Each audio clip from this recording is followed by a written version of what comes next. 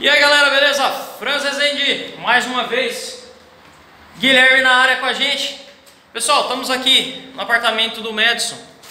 E a gente já. O piso já está pronto, inclusive rejuntado, faltando alguns detalhezinhos aí, pessoal.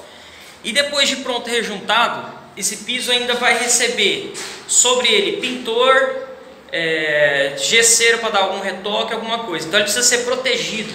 Nós estamos protegendo esse piso aqui, pessoal, com salva-piso. Salva-piso aqui da Salva Brasa. Salva-piso, pessoal, é um produto fantástico, tá? Ele é um, é um papel craft com um plástico bolha super resistente.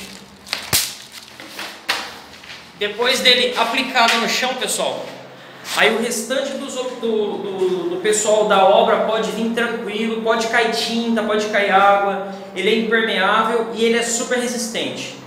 É, pode vir pintor, pode vir gesseiro, pode vir a galera toda. Beleza, galera? Então, é isso aí. Fica a dica para vocês aí. Tá reformando, tá construindo.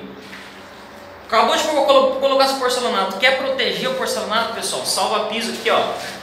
Excelente produto. Vamos colocar aí no apartamento para ir protegendo o, as áreas que já estão prontas. Beleza, galera?